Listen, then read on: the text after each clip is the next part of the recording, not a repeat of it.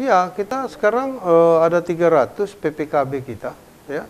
Itu digaji oleh uh, eh, APBD uh, setiap tahun, dan itu sangat membantu, sangat membantu. Dia adalah uh, pembantu penyuluh KB yang ada di desa di kecamatan, dan saya kira ini sangat uh, manfaatnya sangat besar sekali.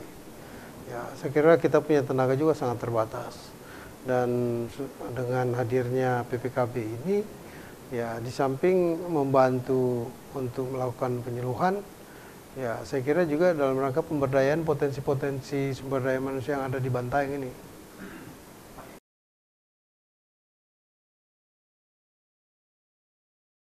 Ya, jadi saya kira eh, 2030 ya Indonesia akan eh, meraih sebuah bonus eh, demografi yaitu usia produktif kita lebih besar dan ini harus dikelola dengan dengan baik ya.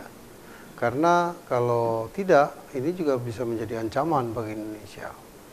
Oleh karena itu lebih dini kita harus mempersiapkan supaya bonus demografi ini menjadi sebuah kekuatan bagi uh, Indonesia ke depan. Uh, dan saya yakin memasuki uh, masyarakat ekonomi ASEAN, uh, saya kira salah satu keunggulan kita adalah bonus demografi itu. Sekali lagi saya sampaikan bahwa yang terpenting ini bukan uh, moto kita banyak anak banyak rezeki, tetapi bagaimana kita melahirkan anak dengan uh, membangun karakternya dengan baik ya, membangun akhlaknya, membangun moralnya sehingga menjadi sebuah masyarakat yang betul-betul dapat kita persiapkan sebagai generasi penerus bangsa.